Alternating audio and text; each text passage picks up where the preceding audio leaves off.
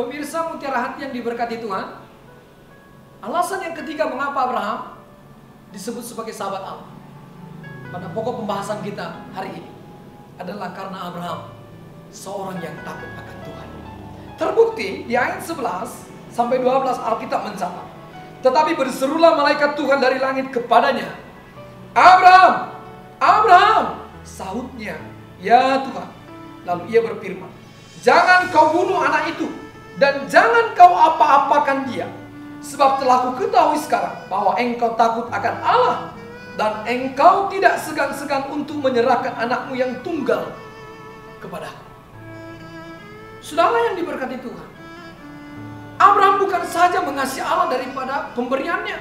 Abraham bukan saja memiliki iman yang sejati. Tetapi Abraham juga adalah seorang yang takut akan Tuhan. Ini pernyataan datang dari malaikat Tuhan. Ini datang benar-benar dari Allah. Allah berkata, aku telah mengetahui sekarang bahwa engkau adalah seorang yang takut akan Tuhan. Jadi pujian takut akan Tuhan bukan datang dari seorang hamba Tuhan. Bukan datang seorang dari sekolah, sekolah teologi atau seorang yang bergelar teologi. Tetapi dikatakan di sana bahwa Abraham takut akan Allah sehingga dia dengan rela orang yang takut akan Tuhan dia akan rela memberikan mengorbankan apa yang diminta oleh Tuhan. Karena dia percaya bukan saya pengendali tapi Tuhan pemilik segala kehidupan pengendali. Tuhan segala empunya. Kita hanya dipercayakan Tuhan saja. Kalau kita memiliki suatu hal benda harta kekayaan pangkat jabatan itu hanya dipercayakan saja. Maka di dalam menjalankan tugas kita sebagai orang percaya, kita harus belajar takut akan Tuhan. Takut akan Tuhan jelas adalah orang yang membenci dosa. Takut akan Tuhan jelas adalah orang yang tidak suka kepada kompromi dengan hal yang bertentangan dengan sifat Allah.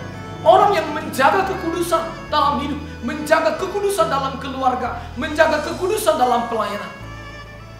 Hamba Tuhan yang kita bahas malam ini, Abraham. Pengakuan bahwa Abraham adalah seorang yang takut akan Allah, seperti saya katakan. Kebenarannya datang dari Tuhan. Abraham akan memperlihatkan kepercayaan totalnya kepada Allah yang telah dikenalnya selama 40 tahun lebih. Ishaklah yang dipersembahkan bukan Ismail. Di mana Ishak ini telah 15 tahun diberikan Tuhan. Dan Tuhan mau meminta itu. Artinya Tuhan mau mengambil katakanlah mungkin sukacita Abraham yang sudah dia miliki selama 15 tahun. Tapi karena dia takut Tuhan, dia rela memberikannya kepada Tuhan. Bukti Abraham takut Allah lagi. Abraham tidak menahan apa pun yang diminta Tuhan. Melainkan dia memberikannya kepada Allah karena dia begitu mengasihi Tuhan. Bukti Abraham takut Tuhan. Bahwa Abraham taatnya seketika. Tidak menunda. Tidak menunggu. Tetapi dikatakan teks firman Allah. Keesok harinya ini membuktikan. Abraham mendengar firman itu. Mungkin katakan malam atau senja. Dan dia besok paginya langsung taat kepada Allah. Di ayat yang kita baca tadi ayat 11 dan yang kedua Tuhan mengatakan lewat malaikat yang datang kepada Abraham. Dikatakan, telah ku ketahui sekarang bahwa engkau takut akan Allah. Dan engkau tidak segan-segan untuk menyerahkan anakmu yang tunggal kepada aku. Orang yang takut akan Tuhan. Apa pun yang diminta Tuhan kepadanya, dia akan serahkan. Karena dia tahu, bukan saya pemiliknya, tapi Tuhan. Bagaimana dengan saudara dan saya? Mungkin orang mengatakan kepada kita, kita tak Tuhan. Mari kita buktikan dengan kita mengasihi Tuhan. Jika ada suatu hal yang diminta Tuhan untuk kau berikan kepada Tuhan, membantu bekerja, membantu ladangnya, membantu hamba-hamba Tuhan yang sedang bekerja. Jangan tahan, tapi relakan. Maka saya percaya Tuhan akan membantunya. Pemirsa mutiara hati yang diberkati Tuhan. Sebagai kesimpulan dari pembahasan kita, Abraham disebut sebagai sahabat Allah. Persahabatan Abraham dengan Allah lebih besar daripada kasihnya yang besar kepada putranya, yaitu Ishak.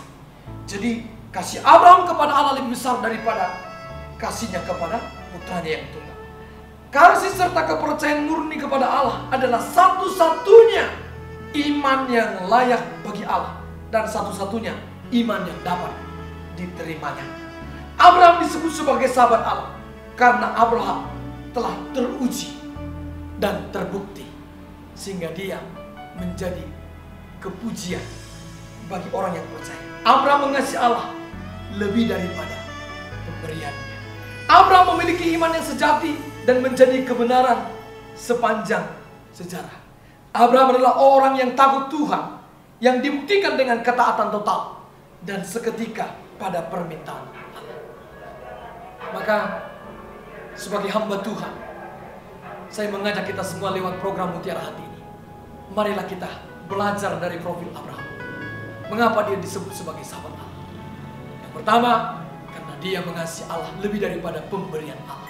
Yang kedua, dia memiliki iman yang sejati yang diperhitungkan Tuhan menjadi kebenaran sepanjang sejarah. Yang ketiga, Abraham seorang yang takut akan Tuhan. Mari kita berdoa. Bapak di sorga, terima kasih pada hari ini. Pemirsa mutiara hati yang diberkati Tuhan yang telah mendengarkan Tuhan acara ini. Yang telah melihat program ini. Hamba berdoa, Tuhan kami rindu. Kami menjadi pribadi-pribadi yang mengasihi Tuhan. Lebih daripada pemberian Tuhan.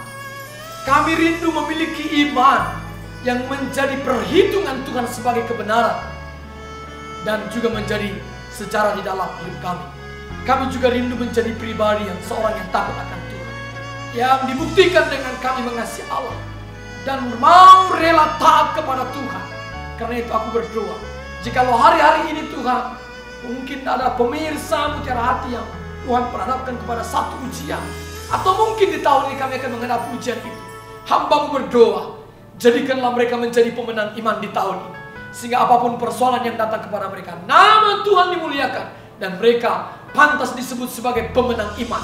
Karena Kristus Yesus Tuhan telah menang di kayu salib 2000 tahun yang lalu. Dan kami sebagai orang yang percaya kepadanya, dijadikannya lebih daripada pemenang. Hambamu berdoa, berkatilah Tuhan. Seluruh anak-anakmu, bahkan siapa pun yang mendengarkan program ini, Biarlah Tuhan engkau menjamah hati mereka. Aku berdoa engkau menumpangkan tangan atas mereka.